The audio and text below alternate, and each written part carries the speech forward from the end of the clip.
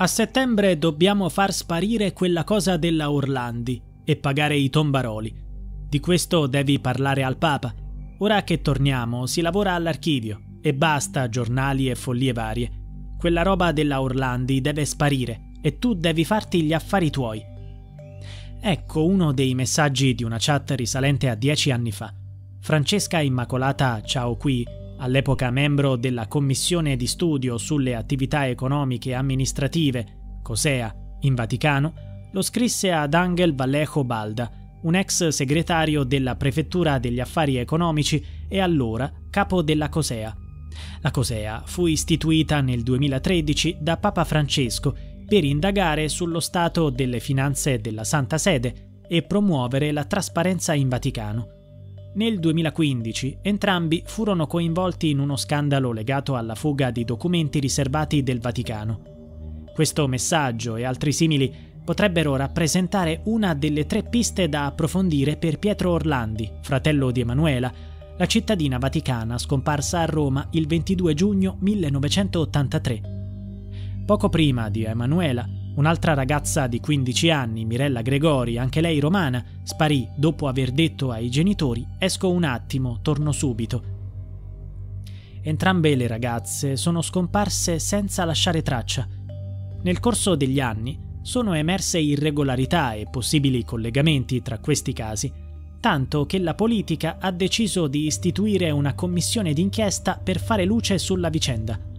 La scorsa settimana i familiari delle due ragazze sono stati ascoltati. Pietro Orlandi ha indicato tre possibili linee investigative, mentre Antonietta Gregori, sorella di Mirella, ha richiesto che la commissione senta Sonia De Vito, l'amica di Mirella. Si crede che questa donna possa sapere con chi si era incontrata Mirella il 7 maggio 1983, giorno della sua scomparsa.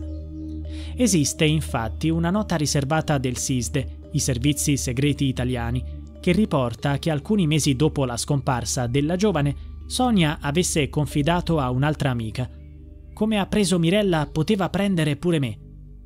Cosa voleva davvero dire Sonia con quelle parole? Aveva conoscenze sui dettagli della scomparsa? Perché questa pista non è stata esaminata più a fondo?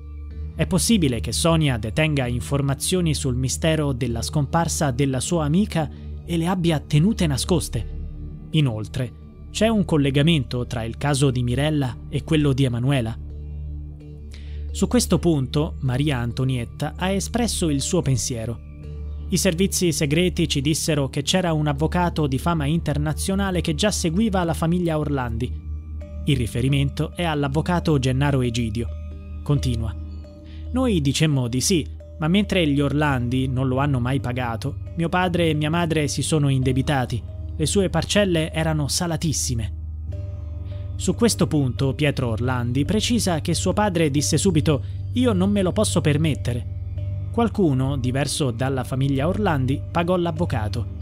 Fu il lavoro dei servizi segreti o forse una mossa del Vaticano? E perché fu suggerito lo stesso avvocato ad entrambe le famiglie? Anche su questo la Commissione parlamentare dovrà indagare per comprendere i molteplici intrecci e gli interessi coinvolti. Tornando a Pietro Orlandi e alle tre linee di indagine da seguire, ha affermato ci sono fatti recenti che possono permetterci di fare passi avanti importanti. Ci sono degli indizi veramente utili. E questi elementi, secondo il fratello di Emanuela, richiedono un'analisi mai approfondita prima d'ora. La prima persona coinvolta da Pietro Orlandi è stato il magistrato Giancarlo Capaldo, ora in pensione, che si occupò del caso Orlandi nel 2012. Quell'anno, secondo quanto affermato da Pietro, il magistrato avrebbe avuto un incontro con degli emissari del Vaticano, tra cui il capo della Gendarmeria Vaticana Domenico Giani e il suo vice Costanzo Alessandrini. Ha spiegato Pietro Orlandi c'è stata una sorta di ammissione da parte del Vaticano di essere a conoscenza di alcuni fatti, quindi mi auguro che tutti e tre siano ascoltati. La seconda pista conduce a Londra.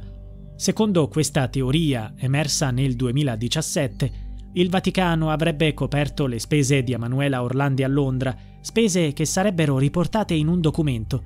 Tale documento però è stato etichettato come falso e apocrifo. Nonostante ciò, Pietro ritiene che possa contenere informazioni cruciali. Questa ipotesi gli sembra credibile anche perché in passato è stato informato della presenza di Emanuela a Londra tramite una segnalazione che per vari motivi gli è sembrata autentica.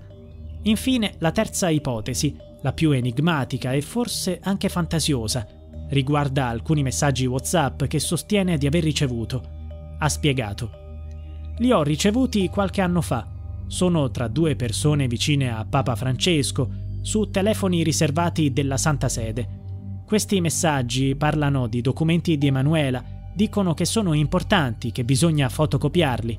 Parlano di georadar, di come pagare i tombaroli che non si possono pagare in maniera pulita. Su questo punto, Orlandi ha coinvolto Francesca Immacolata Ciauchi e Monsignor Balda, entrambi membri della Cosea, come precedentemente menzionato. Orlandi sostiene che i due abbiano scambiato quei messaggi perché avevano trovato dei documenti relativi a Emanuela, una cassa contenenti oggetti di Emanuela. Mi hanno anche indicato dove si trovasse questa cassa, depositata a Santa Maria Maggiore. Ho riportato queste informazioni ad Alessandro Diddi, il promotore di giustizia vaticano, durante il mio interrogatorio l'anno scorso. Ho richiesto che Francesca Immacolata Ciauchi fosse convocata il prima possibile per testimoniare, dato che mi aveva fornito gli screenshot di quei messaggi, ma non è stata convocata. È incredibile che su caso irrisolto da 40 anni ci siano documenti accessibili a tutti ma non sia stato possibile ottenerli. Quanto alla pista che porta in Inghilterra, il presidente della commissione parlamentare, il senatore Andrea De Priamo, ha deciso di secretare la seduta Pietro Orlandi potrebbe aver menzionato il nome del terrorista che gli ha fornito dettagli su questa pista. Riguardo al ruolo anomalo dei servizi segreti, il fratello di Emanuela ha aggiunto altri dettagli. Tre giorni dopo la scomparsa, dalla cameretta di Emanuela presero tutto. Sono venuti a casa nostra perché questo personaggio dei servizi aveva anche casualmente conosciuto Emanuela, era un amico di sua cugina. Due giorni dopo è tornato con un ufficiale dei carabinieri di stanza al SISDE. Per noi erano persone che ci stavano aiutando, noi gli davamo tutto. Sono stati tracciati anche gli ultimi contatti di Emanuela. Parlò con sua sorella Federica, ecco cosa ha dichiarato.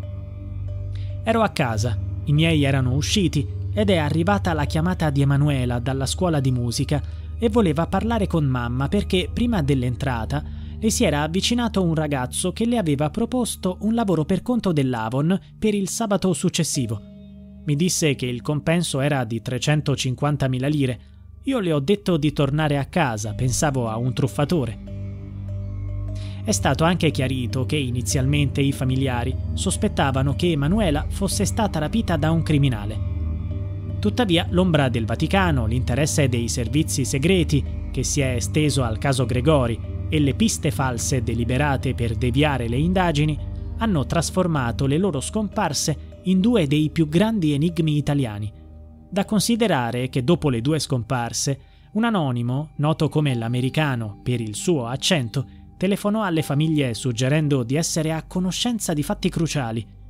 Recentemente un'analisi forense ha indicato che la voce, così come quella di altri chiamanti, potrebbe appartenere a Marco Fassoni Accetti, un fotografo romano che era stato indagato nel 2013 e si era autoaccusato di essere coinvolto nei rapimenti, sebbene fosse stato scagionato. Accetti ha richiesto personalmente questa perizia per dimostrare di non essere un bugiardo patologico, come alcuni lo hanno definito, ma di aver avuto un ruolo reale. La commissione d'inchiesta deciderà se ascoltarlo, ma separare verità e menzogne sarà senza dubbio un compito arduo.